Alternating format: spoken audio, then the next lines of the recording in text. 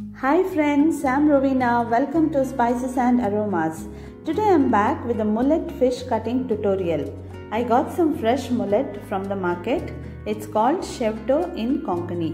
So let me start with the basics. First, let me tell you how to identify if the fish is fresh. Just open the gill cover and check for the gills. You can see that vibrant magenta color and the sharp edges of the gills which means the fish is fresh. You can also see this transparent gel oozing out of the gills. If you slightly press the fish, the gel comes out. So that also means that the fish is fresh. Now let's proceed with the cutting process. Start removing all the fins. Since the fish is bigger in size, you need some extra efforts in cutting the fins. You need to have sharp pair of scissors. If you want to buy the one I am using, you can find the link for buying in the description box. I prefer cutting fish at home as all fish vendors do not prioritize hygiene. Another point to consider is the freshness of the fish. It is advisable to cut and cook the fish immediately, preserving the delicate flavors which might be lost if stored after cutting the fish.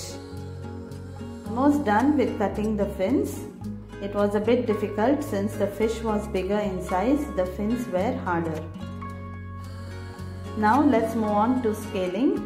Use a scaler or a knife to get rid of those scales for a smooth cooking process. I really have a very good scaler which helps me in fish cutting process. To buy this, you will find the link in the description box. Once you are done with the scaling, clean the fish. Now let's start the cutting of the fish. First, I will cut the head portion. Open the gill cover and cut on both sides.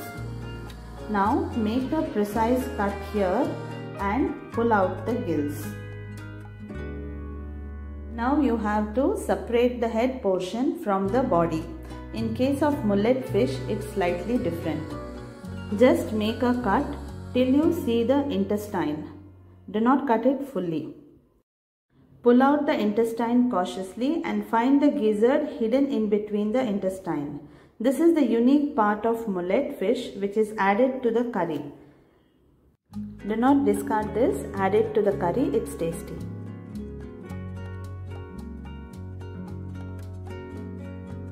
Using your scissor, just make a small cut and press it from the sides, all the dirt comes out. We will clean it thoroughly once again in water. Now cut off the head portion.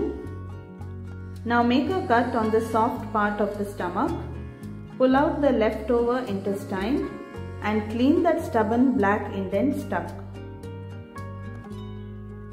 To make it easy, cut off that part and using your knife clean it. In case of mullet fish it's a bit hard so you need to use a knife and if that black indent remains the curry tastes bitter so remove it at this stage. This video is helpful to beginner hence I request you to share it with your friends and relatives if you have not subscribed to my channel, please do subscribe and follow my channel for more updates on fish cutting and other recipes. If you are a fish lover like me, please type yes in the comment section. Now our cleaning process is almost done. This is the tough part when it comes to mullet fish. Slice the fish as per your requirement and proceed to cleaning.